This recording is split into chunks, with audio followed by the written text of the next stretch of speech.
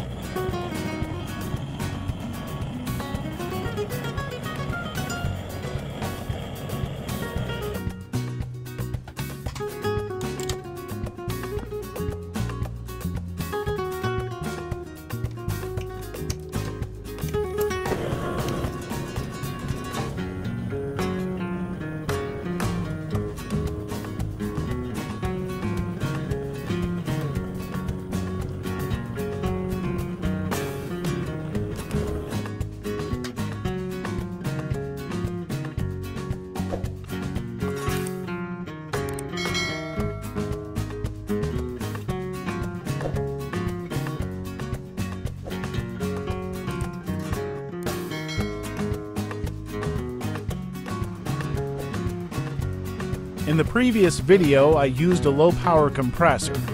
Many people commented that it was too small, so in this video I used a much larger one with very high pressure, which can deflate a Coca-Cola bottle in a short time.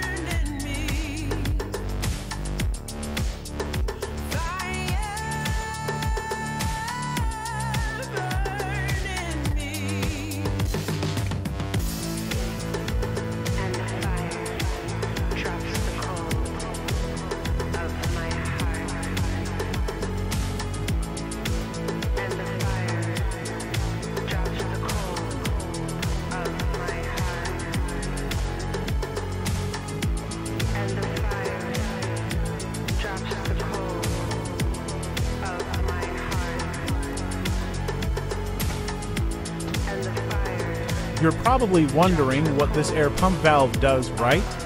You'll see how it works near the end of the video.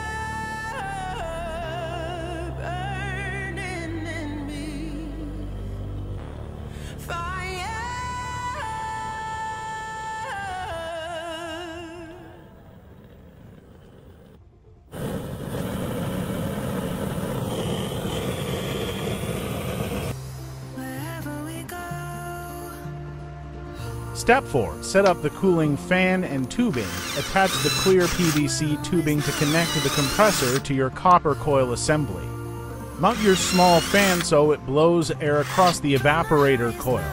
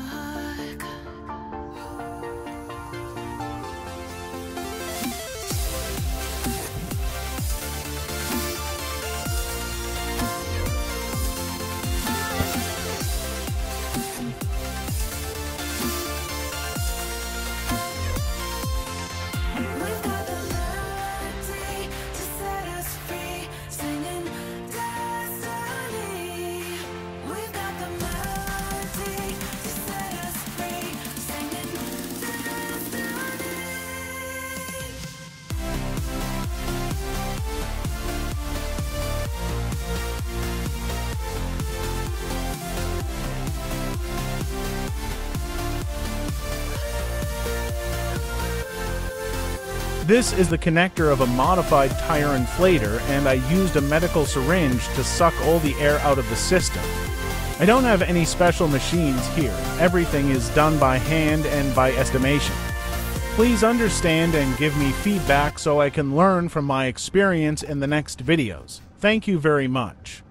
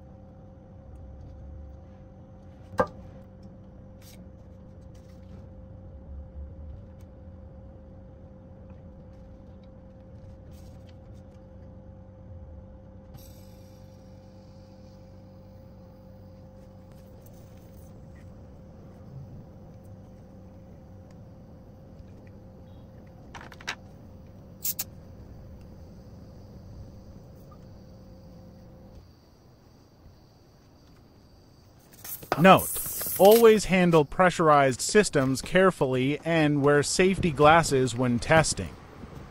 Step 5 Power up and test. Connect your 12 volt DC power supply to the compressor and the fan. Switch it on, and within seconds, you should feel the temperature drop. If you measure the copper surface with a thermometer, you'll see it quickly drop toward minus 10 degrees Celsius.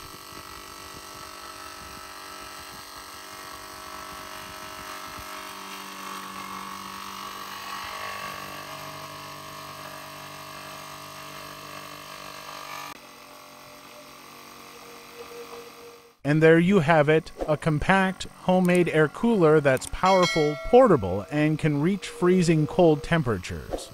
If you found this project interesting, don't forget to like, share, and subscribe for more DIY builds from Testing Tip